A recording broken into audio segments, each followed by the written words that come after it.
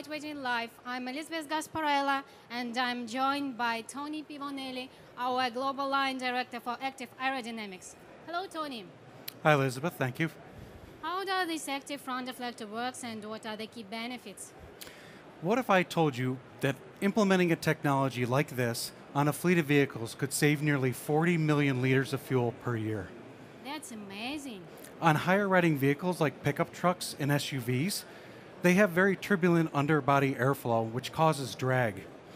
The active front deflector, which deploys at speeds between 50 and 65 kilometers per hour, redirects that airflow both under the vehicle, smoothing it, as well as reducing the ram air pressure on the front tires. With that technology, we get a 5% drag reduction. When coupled with Magna's active grille shutter technology, we get a total of 7%. What other active aerodynamic applications can we expect from Magna in future? We're already a very large producer of active grille shutters. In fact, this year we'll make 3 million alone. We're also developing new technologies such as the active underbody panel um, for cars and CUVs. It's, it's similar to the active front deflector, but for lower riding vehicles.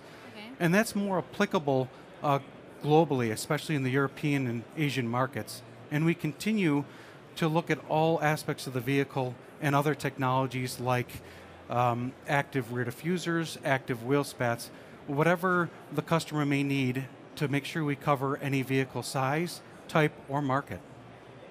Thank you, Tony, and thank you all for joining us for Lightweight in Life.